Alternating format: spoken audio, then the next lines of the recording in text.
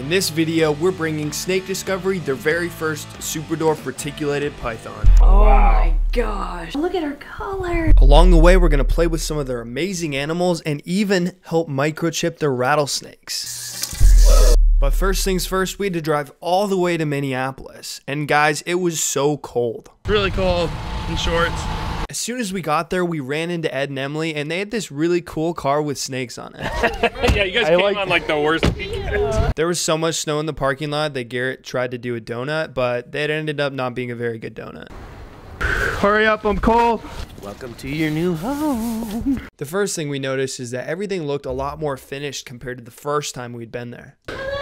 This place looked very different. Oh, that's actually, right. It's been like a year and a half. you were like not even done with the zoo yet. Yeah. Oh, that's changed setting it so much. It's been a fun journey. It's not completely done yet. Like, there's always something we're tweaking, but I could not wait to go inside and check out all the animals they had on exhibit. Guys, this is crazy. I basically get the Snake Discovery's entire zoo to myself right now. 'cause I don't even know where to start. Guys, you know I'm a kid at heart, so I had to check out the secret tunnel that goes behind Rex's enclosure. Ooh, dude, this is crazy. That's so fun. I feel like I'm at McDonald's in those play places again. And guys, it turns out alligators look so cool on camera.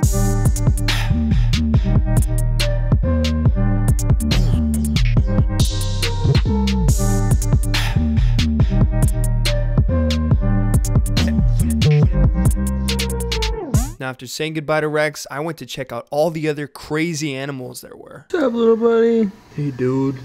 Garrett, can we get turtles? They're so cute. They're like goldfish with so much more personality. But my favorite might have been the axolotls.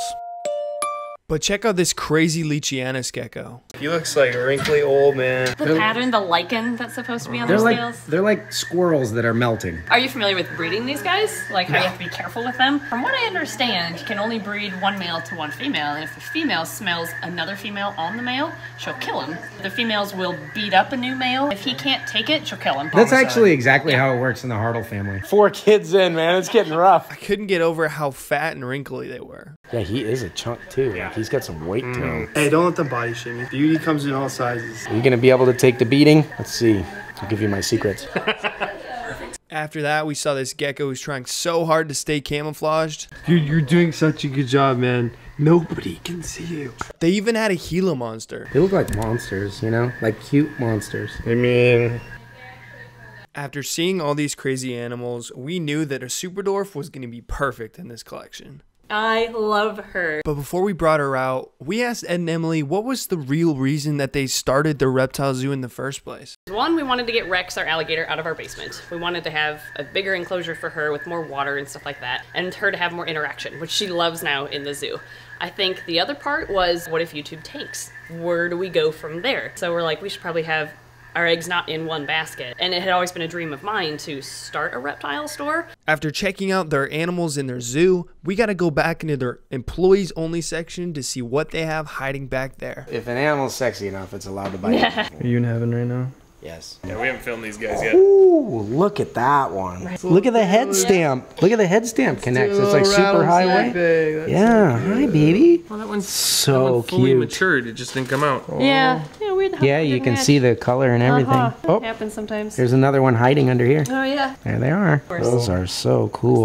They even had these crazy looking bugs, and so many of them. But this last one absolutely blew me away. That thing is huge. I don't think I've ever seen one before. Oh Hercules beetles larvae. So they do have pinchers. Does it hurt when they pinch you I- on the I lip? haven't, Do you wanna uh, find out? Try We don't it. know. You can, you can get pinched by them if you want. I've never tried. I just didn't really want to get. Oh get man, he is hard. Yeah. Go boy. What? But you guys won't believe what happened next. Right before we were about to give Ed and Emily their very first Superdwarf retic, we ran into Luke's Bug Adventures and his family, and they had a huge surprise for us. This is a dragon mantis, Stenophylla lobivertex. That's insane. Hi, honey. And the crazy thing was, they were sending these mantises home with us for Garrett's daughter Kira. Is this, This a is a dragon mantis? dragon No, you guys have to see. Whoa! Oh, look at her. Crazy. This is a truncata, Deroplatys truncata dead leaf mantis. Here we actually have a pretty rare mantis. This is a Parablepharis kuhlii asiatica.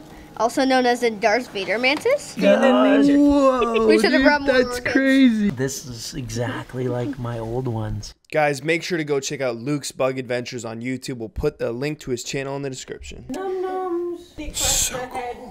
All right, guys, enough anticipation. It was finally time to give Ed and Emily their very first Super Dwarf retic. Yeah, I think you should be here. Okay, yeah, I have that as a background. It's a lot of work traveling to programs with a big boa constrictor, a bunch of little snakes, and a big Burmese python. We need something smaller from Asia, like like a super dwarf retic or something. Super dwarf. Garrett, what are doing here? I've been hiding behind one of the Universal Rock backgrounds ever since the first build off. That's where you disappeared off to. Yes, and I've just been waiting for to surprise you with this girl. She's actually a year and a half old now. I wish you would have said Super Dwarf a long time ago. I'm sure my kids miss me. We have never owned a super dwarf retic before, Oh, and man. I've always wanted one of your snakes, especially one to use in programs because they're so much more portable than a big Burmese python. But we need an Asian species to bring with us to libraries and stuff. So can't wait to Well, I try to get you something with color and personality, so. And swag. Look at that. That's awesome. ReachReptiles.com slash shop. We have one of those uh, stickers on the other side of that wall over there. Oh, is it still there? Yes. You didn't take it. I thought you guys took it down. I need to go find it. Guys, look, it's still there. Snake Discoveries newest snake. Oh, my gosh. Wow, look at her colors. Holy moly. And she's a year and a half old. Thank you so much for like a beautiful morph. I love her. She seems pretty well mannered too. Oh, she's super chill. She will be an amazing addition to our programs. Cannot wait to watch her grow. Thank you so much for her, Garrett. Do you want to check her out, Ed? Sure. Okay. She's gorgeous.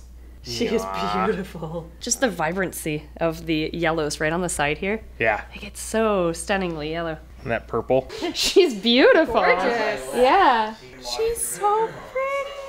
Well, we don't get to hold, handle many retics here. Hi. Oh my gosh. Oh, she's so pretty. Guys, I think this is going to be the perfect home for her. Now that things were starting to wind down, it was the perfect moment to pull out some of the more dangerous species that Snake Discovery has in their zoo. Hey, Sushi. You're not eating, are you? So we just use the hook to let them know that you're coming. There's no heat signature on there. And I don't know the temperament of this animal at all, so I'm just gonna make sure I keep her head pointed away. I don't know how you guys keep this clean. We take the hose and we just high powered. No biting. Let's go. Come on, Sushi. Yeah, she's a good girl. Here we go. For your spatial awareness, Sushi.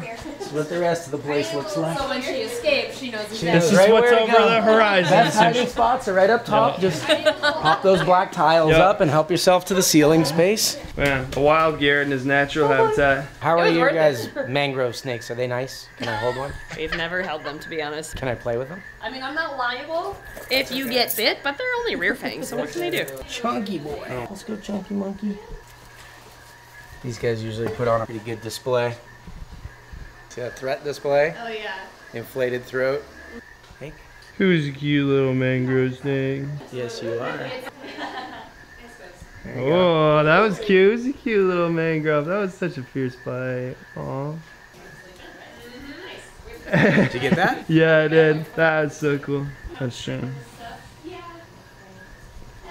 These guys are notorious for big, giant, open mouth bites, but no venom. They have venom. Yeah, yeah. They're notorious for not giving you any. They're usually not trying to bite until after quite a bit of threat display. He's not threat displaying nearly as much as the little one was. No. He's like not even nervous. He's a good snake. But the day was about to take a hair raising turn. There were two rattlesnakes that needed microchipping, and Garrett could not miss the opportunity to play around with them. We are microchipping rattlesnakes. Ooh, It's gonna be fun. sounds so much fun. Yeah. Guys, what you're seeing here should not be tried at home. Garrett and Emily are trained professionals and know exactly what they're doing. Uh, don't try this at home. Do you want to hold this for me? Yeah. And I'll scream at you if I need it. It'll probably sound like, it's biting me! That's how you know. Go ahead. Ready? Yep. Wicked. Come here. Go in here. Alright. I get that tube. Do you want a tuber? Nope, you can do it actually. Should do. See if I can get her in. This one's pretty small. Hey, kid. Come here. Mm, oh, I love you that. got a good reverse on you. Yes, you do. This is where I'd let her go a little This, further. yeah, there we Oh, go. there you go. Nice. Boom. All right. Beautiful. All right. We're gonna go a couple inches above her cloaca. There you go. Here. Have you so- guys ever felt a rattlesnake? Crazy keeled scales. Whoa. You Whoa. can touch a rattle too if you want. Yeah. Sweet success. Now the small One one. down. Are you ready, Em? Yeah. Oh, it's pretty. I last week. Hey, bud. Come here. Let's get the small tube. Small one. He's like, I don't think so. Saw what you did the last guy. I'm not getting any shot in the butt. Let's try it. No. These tight tubes are tough. Whoa. That was close. I almost had him. No. Jeez. Pretty in there. It's big. God, I have already there. Okay. Now. Okay, give me the little Make one. Go easy, because those are sharp edges. Go ahead, keep going. Come here, bud. There we there we go. go. Push, push. Perfect. Okay, Okay. see how far you get it in. Dude, I jumped. I got I'm sure you heard my. dodged. You got him? Done and done. Keep going. Tickle, Oh. After that, it was finally time to part ways with our beloved Super Dwarf. I love you. I want to give a huge thank you to Ed and Emily for being such gracious hosts. We had an absolute blast. Make sure to go check out their animal zoo if you're in the area. And if you don't know who they are, make sure to check them out on YouTube. Thank you guys so much for watching. We'll catch you in the next one.